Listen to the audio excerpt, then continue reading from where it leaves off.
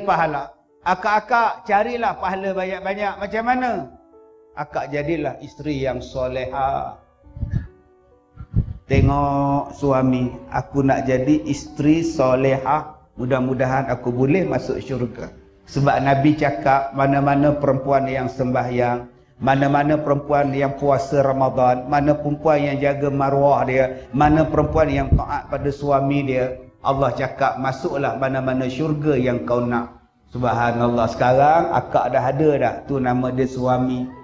Akak jaga dia, taat pada dia, syurga untuk akak. Abang-abang, isteri kita ni adalah lambang baik kita. Sebab Nabi sebut khiyarukum khiyarukum li ahlihi. Orang yang paling baik di kalangan kamu ialah orang yang paling baik dengan isterinya. Dia tak sebut orang yang paling baik di kalangan kamu yang paling tinggi songkoknya. Nabi tak sebut. Nabi tak sebut pun orang yang paling baik di kalangan kamu yang paling besar serbannya. Nabi tak sebut. Nabi sebut orang yang paling baik di kalangan kita ialah orang yang paling baik dengan isteri kita.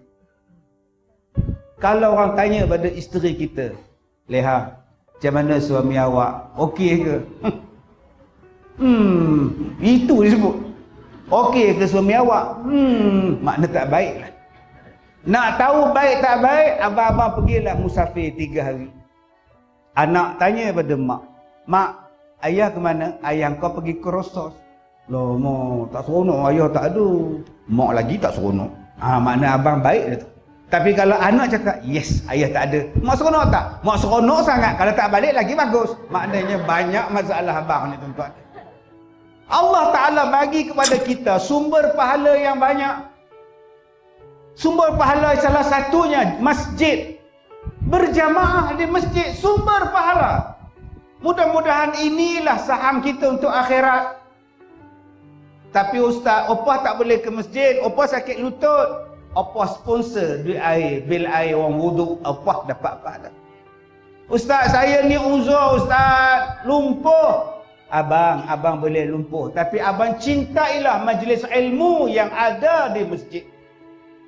Abang nak datang tak boleh. Abang nak belajar tak boleh. Abang nak dengar tak boleh. Abang lumpuh. Abang jadilah yang nombor empat. Pencinta. Suka pada majlis ilmu. Berapa ramai yang tak datang benci. Aku heran dengan masjid. Aku ni tak datang ke masjid dia orang buat ceramah di masjid. Apa pasal speaker dia orang kena sampai pada aku? Aku nak tengok gegar Wagangza. Dah lah tak datang, dia marah pula speaker masuk dalam rumah dia. Macam mana nak jadi orang terbaik? Ini peluang kita untuk masuk syurga.